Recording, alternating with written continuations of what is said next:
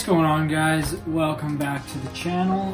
We sort of teased it in our last video, but yeah, in today's video, we are gonna be taking on these rear shocks and doing the outboard shock relocation, which if you don't know what that is, essentially you're taking the upper mount of the rear shocks that is mounted inside the frame and you're moving it to the outside of the frame. You weld a bracket onto the outside of the frame. It's supposed to give you a little better stability, help with body roll, and you know, it just helps with the, the handling of it generally on road and off road. So let's get started. So the rear shocks mount basically directly on the opposite side of this cleaned off section of frame, kind of in like uh, a dished out part of the frame, and it's kind of like sunken down in there where the where the shock mount is, so it's kind of a pain in the butt to access. I'll walk you through kind of how you have to remove the upper shock mount because it is definitely annoying all right, so got the shocks out and I will explain what is so difficult about removing these shocks. So you've got your 17 millimeter nut. It's a nylon lock nut. If you just take a wrench and spin it, the whole shock shaft spins. So you end up getting nowhere and not actually spinning the nut off. What you need to do, shock shaft has a Allen on the top. First you get your, your flex head ratchet on there because that's the only thing that you can actually reach it with because it needs to be kind of like that to actually access it. And then you get your Allen in there and you spin this guy off all with one hand because you can't reach two hands up there.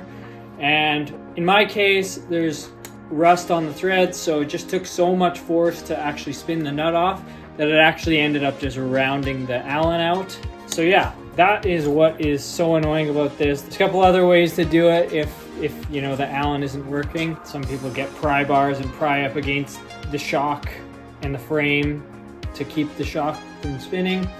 Other people lift the boot up and get vice grips on the shock shaft to keep it from spinning. That is something I've had to do. But yeah, it's not super fun.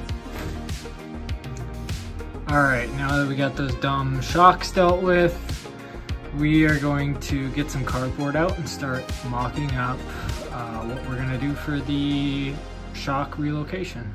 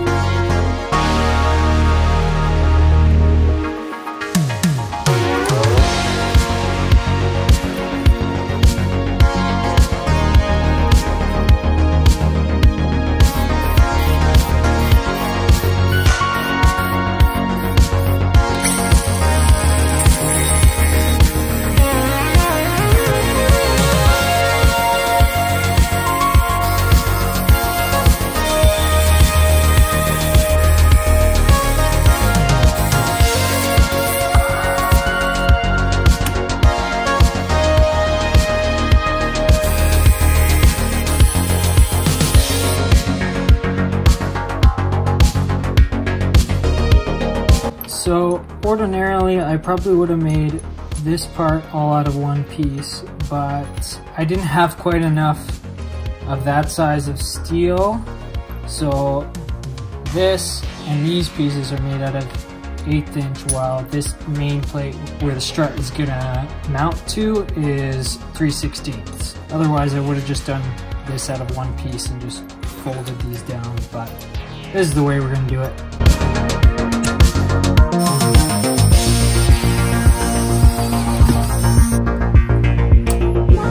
Got my new welding helmet. It's a Yeswelder welding helmet and so cheap on Amazon. I'm gonna test it out for the first time.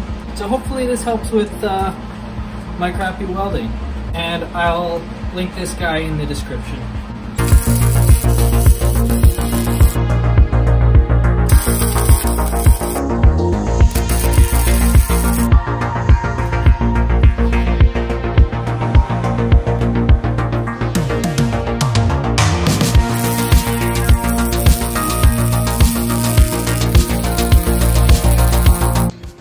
I've got my first side made up. Honestly, I'm not mad about how the welds turned out. I'm not a good welder by any means. It's a Hobart Handler 125 flux core welder.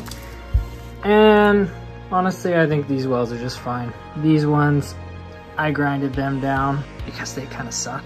The rest of them, they passed my uh, visual test. This stuff is super expensive, but it is worth every penny. I've heard not so great things about weld through primers, but this one apparently is the absolute best as far as making it seem like you're just welding on bare steel.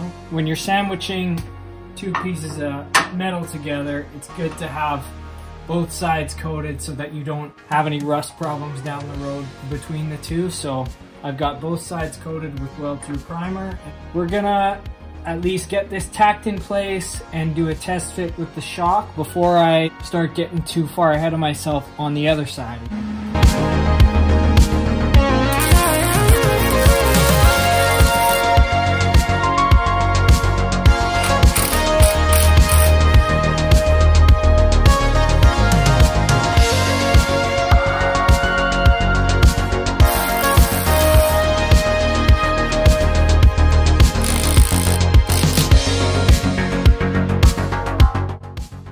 Probably got about, I don't know, a little over a half an inch of space between the boot of the shock and the inside of my tire.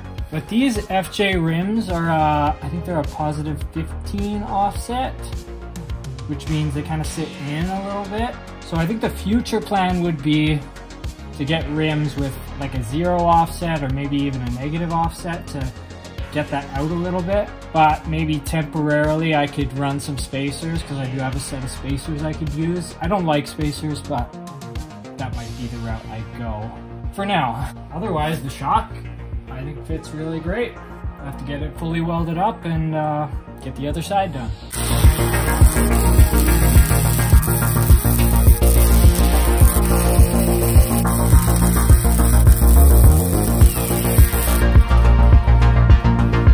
Well, it could be better, but it could also be worse. I'll chalk it up to the flux core welder. I take zero of the blame. I'm gonna let this cool down, then we'll hit it with some primer and paint.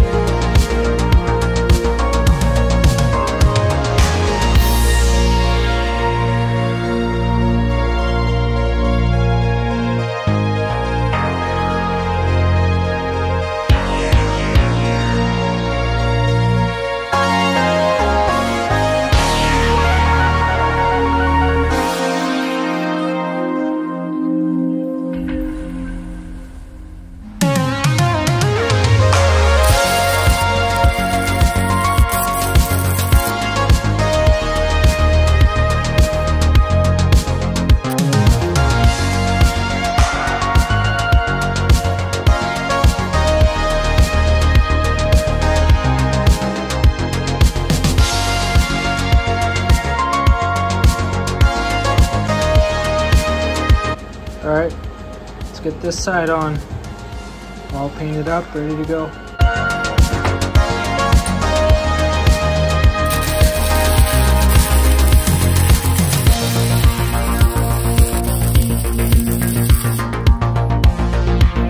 All right, got this side finished up. Gonna let this cool down, probably call it a night, and finish up the job tomorrow.